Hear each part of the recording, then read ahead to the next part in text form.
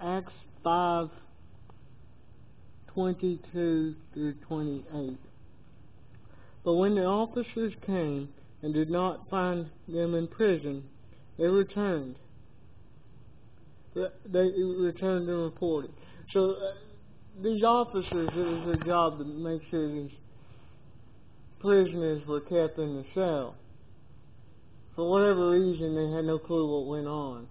Some cases we see in Scripture they fell asleep at Jesus' tomb. Sometimes we see them just so scared they because they know exactly what happened. Here, it doesn't say.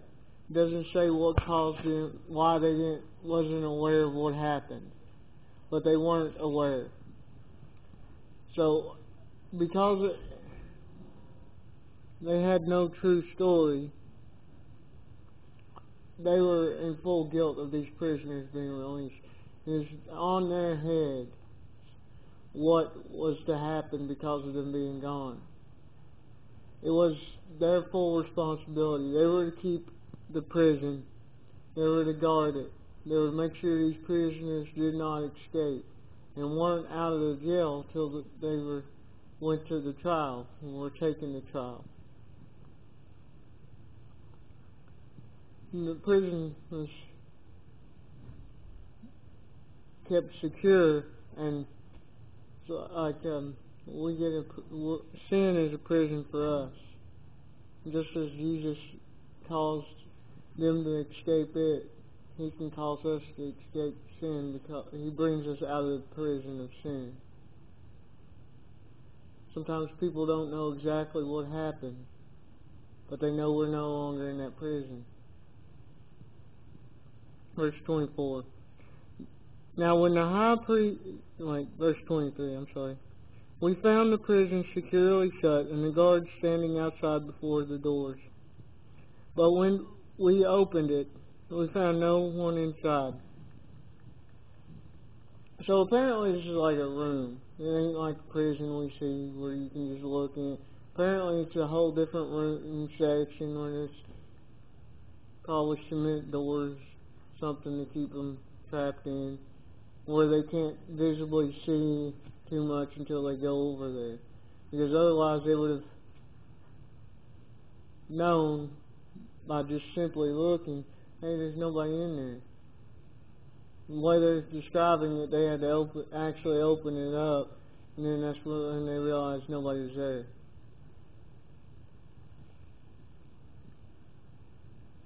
The thing that made the miracle more amazing is because because of it being that way, I'm sure prisons there's different ways. Some of them probably bars, and but it, it made it more harder for them to escape. It ain't like they just slid out. Because if it wasn't visible, then there's no space in the walls for them to go out. So it ain't like they just broke out. They're like we have no clue how they got gone. They just ain't there no more. There's no way for them to escape. So, most likely, they're thinking that probably assume that the prisoner wanted to somehow let them out by these people because of course, these people don't follow God, so they're never going to give God recognition. But God was the one that released them. Look, as Christians, when somebody in the world sees our change, they're going to always go and see that we're escaped the prison of sin. They're going to see and say, well, it's because of this.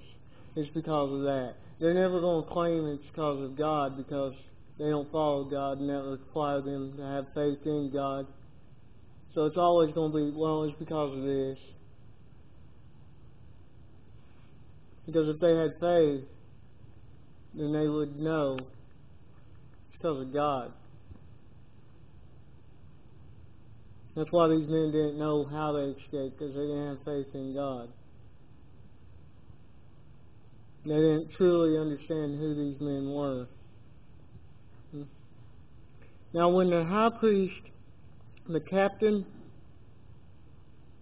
of the temple and the chief priests heard these things, They were in doubt of what might become of this. So they got they arrested him because they were well, the Lord was using them to win people to Him.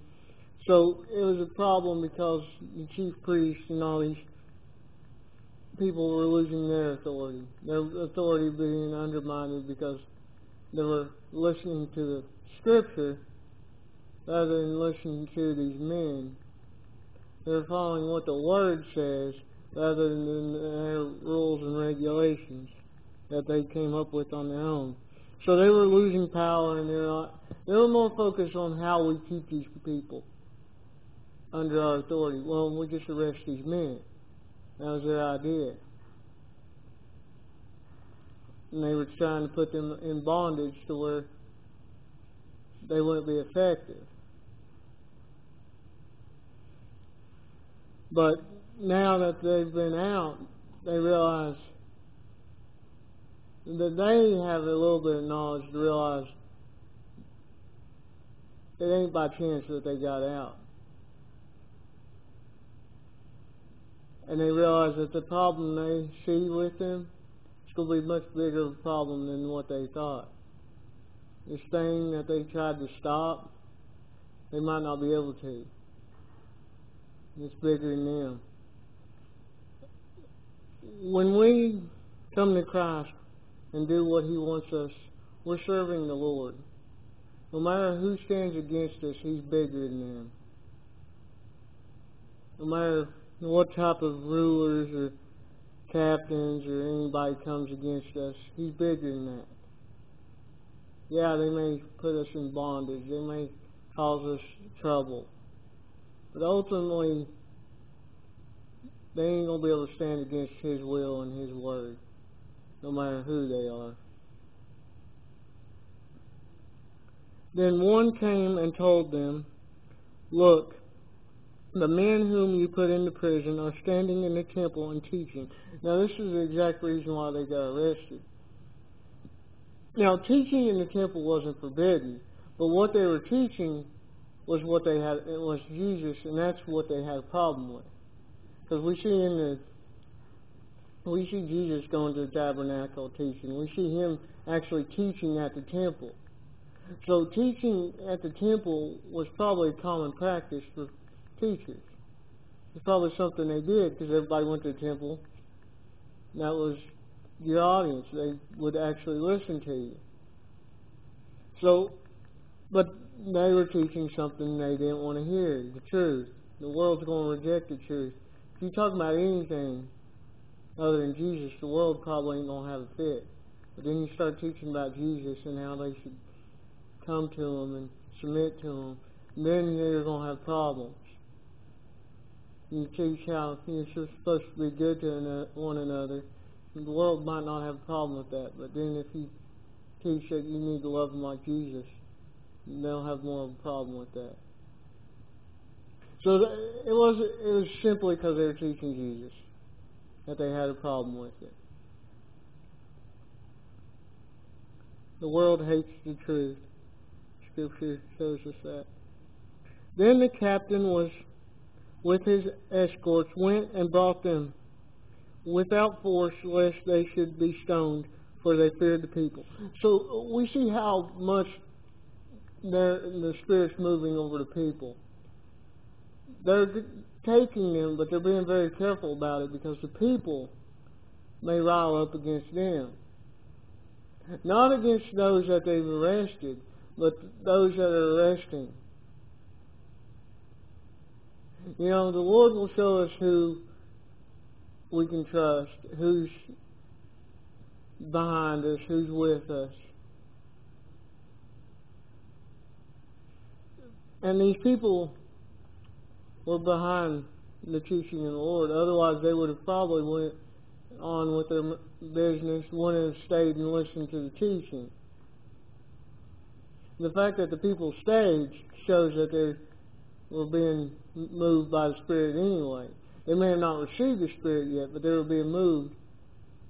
And the, the, the prisoner, the captains see enough of a problem of them being moved that they could become a threat to them for doing what they're supposed to be doing. Because these men escaped prison.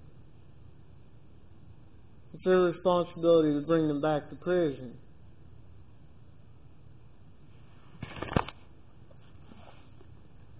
When they had brought them, they stood before the Sanhedrin, and the high priest questioned them. So they don't take them back to prison. Prison. They immediately take them to court. They realize there ain't no point taking them there because they can just easily get out of prison again. We just need to go ahead and do the trial, which is what they do. Sanhedrin was the Jewish court. It wasn't the Roman law; it was the Jewish, which shows that uh, which Jesus went through both the Roman and Jewish. So at this point, the only thing the Jewish council and Sanhedrin had authority to do was stoning for, and that's it. They had authority to do stonings. But if they decided, then they could appease Rome to see a trial too. Okay. They questioned them, saying, Did we not strictly command you not to teach in that na- this name? Yet now you have filled Jerusalem with your teaching, and you intend to bring on us this man's blood. Now, they've already did this themselves. Christianity wasn't a threat to Rome yet. It became one due to these chiefs and these temple workers, but it wasn't a threat. Their way of handling things was threatened. Because the way they were handling things wasn't the way God wanted things to be done. They were burdening people down with the law where they couldn't live the way God wanted them to. They were living to follow the rules rather than living to please God. So because of that, they were teaching you need to worry about pleasing God. Then you'll be following the rules. Jesus came so you could have grace for when you don't submit to every rule. And actually teaching an alternative to the rules threatened their job because their job was to enforce the rules. Most of these rules that were broken were rules they came up with themselves, not even out of Scripture. So we need to we need to we see how they respect the authority. They go freely to the trial. But we also need to know who we take a stand for in spite of who's telling us not to. We need to be able to stand for the Lord.